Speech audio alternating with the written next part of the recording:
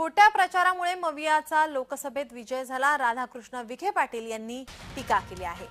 जय महाराष्ट्राशी बोलताना विखे पाटील यांनी खोट्या प्रचारामुळे मवियाचा या ठिकाणी लोकसभेत विजय झाला असं म्हटलंय.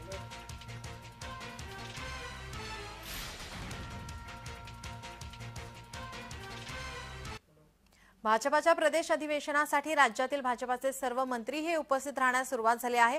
यावेळी महसूल मंत्री राधाकृष्ण विखे पाटील यांच्याशी अधिवेशनाच्या पार्श्वभूमीवर बातचीत केली. आमचे प्रतिनिधी रोहन कदम यांनी पाहूया अधिवेशनाला अगदी काही मिनिटांमध्ये जी आहे ती सुरुवात होते. राधाकृष्ण विखे पाटील महाराष्ट्र सरकारमधील मंत्री आपल्यासोबत आहेत.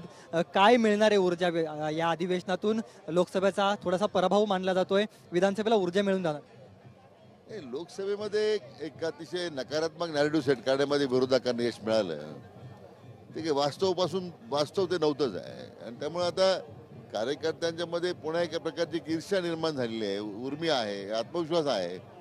आणि त्या नव्या आत्मविश्वासानं आता उद्याच्या विधानसभेला सामोरं जाण्याची तयारी कार्यकर्त्यांनी केलेली आहे. आणि त्याचीच प्रचिती आपल्याला आजच्या अधिवेशनामध्ये पाहायला मिळेल. काय बदल अपेक्षित आहेत? म्हणजे लोकसभेला काय झालेल्या चुका आहेत ज्या विधानसभेला होऊ नयेत आणि या अधिवेशनातून त्या सगळ्याला मदत मिळेल? नाही चुका कुठे झाली? चुकायचा चुका होण्या चुका होण्याचा प्रश्नच नव्हता. नॅरेटिव्ह सेट करण्यामध्ये अं, यश आलं आम्ही कमी पडलो. आणि त्यामुळे चुक आता लोकांमध्ये हे लक्षात आलेलं आहे जनतेला की हे आतिश यांनी चुकीचा आणि मला वाटतं एक जाती विषमताचा विष पेरून जनतेच्या मनामध्ये संभ्रम निर्माण केला होता. आता तो लोकसभेनंतर लोकांच्या मनाचा संभ्रम दूर झाला आहे आणि म्हणून विधानसभेला निश्चितपणे विरोधी महाविकास आघाडीला लोक पूर्णतः नाकारतील त्याच्यावर माझा विश्वास आहे. नेते जरी महायुतीमध्ये लढण्यासाठी इच्छुक असले नेते जरी महायुतीमध्ये लढण्यासाठी इच्छुक असले तरी कार्यकर्ते आहेत का? अजितदादांवर ते आरोप प्रत्यारोप सातत्याने होत आहेत. दादा नको अशी भूमिका संघच देखील घेतलं सांगितलं. राजकीय पक्षामध्ये महायुतीमध्ये अशा घटना घडत राहतात. त्यामुळे आपण तर फार लक्ष द्यायची गरज नसते.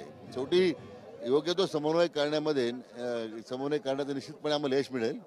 ह्या थोड्याशा कार्यकर्त्यांमधल्या ज्या भावना आहेत यापूर्वी निवडणुकीला सामोरं समोर लढलो आपण तर त्या दूर करण्यामध्ये कार्यकर्त्यांचं मन वळवण्यामध्ये निश्चितपणे आम्हाला यश मिळेल.